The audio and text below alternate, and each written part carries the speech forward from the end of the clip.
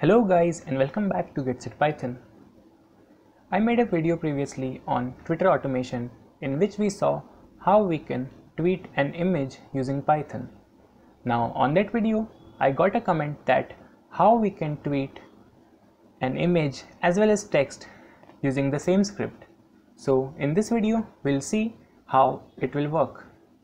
Now this is the same script that we used in Twitter automation to tweet an image and I'll show you how we can convert this into image plus text script. So first of all I have commented out this tweet button and we will run this script to see what changes we need to make in our previous script. So this is the same script that we used in that video and if you haven't watched it link is in the description below. Go and watch it first and then you can see how this will work. So I'm just entering my email ID and password and for the image we will be using this image. And path to it is this one.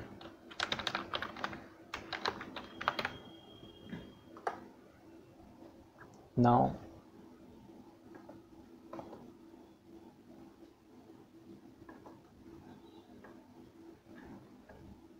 you can see that we got our email and password entered and now we are logging in into Twitter and that is my Twitter account so now just a minute now you can see that we got this image now I haven't clicked the tweet button yet because we commented out it. Now what we need to do before tweeting is to enter some text right here. So first let's inspect it and see what is the element name. And you can see that it is a div. Just a minute, I'll maximize this for you. And let's inspect again and you can see that it is a div which doesn't have any class so we'll just hover on this whole text box. And you can see that this is the div right here with with id this tweet box home timeline.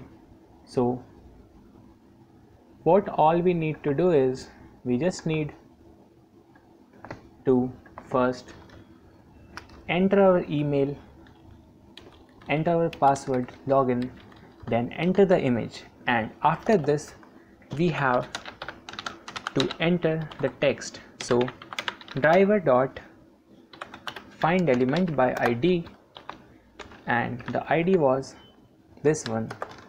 Now we just need to enter the text. Now you can take this text using input and by passing input here. But I'm just using the static text here so let's write automation with image and text hashtag get set python. Okay so first it will enter the image then it will enter the text. Now I'm just adding a sleep here also.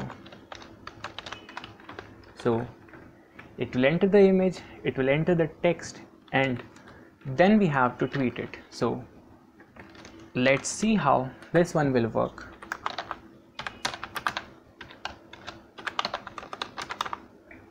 So I'm just entering my email ID and password and path to my image now you can also make this path static by mentioning it in the script itself. Now let's see how this works. So you can see here that we got our email and password entered. And it is logged in. So now we'll see that we got our image and our text too and then it will tweet it. So you can see that we successfully got this script working. So all we need to do is we need to understand what we need to do in our script.